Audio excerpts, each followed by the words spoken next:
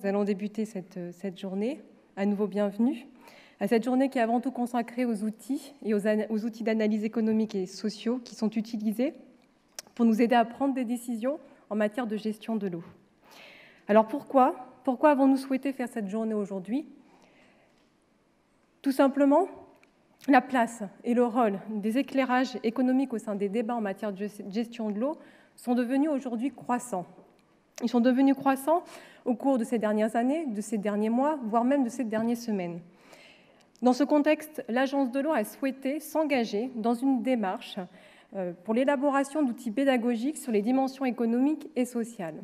Ainsi, cette journée, c'est non seulement l'occasion de vous présenter cette démarche, mais c'est également l'occasion d'associer un certain nombre de témoignages et de retours d'expérience d'acteurs qui vont être directement impliqués dans la mise en œuvre de ces outils. Donc effectivement, le programme est dense. Il est assez, euh, on l'a assez euh, découpé avec des sessions, des forums, des discussions, des temps d'échange. Donc on va attaquer sur la session d'ouverture de cette, journée de rencontre.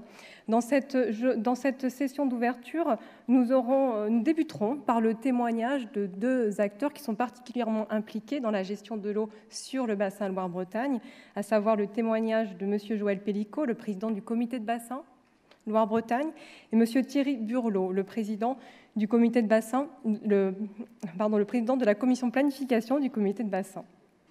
Je vous présenterai les démarches qui ont été mises en œuvre sur le bassin Loire-Bretagne pour pouvoir répondre à cette demande en matière d'outils pédagogiques.